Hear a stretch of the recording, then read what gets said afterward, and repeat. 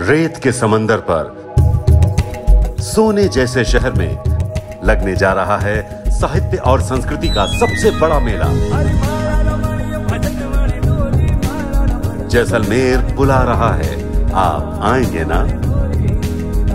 मरु महोत्सव 24 से 27 फरवरी। नया साल, नई उम्मीद, नया जश्न।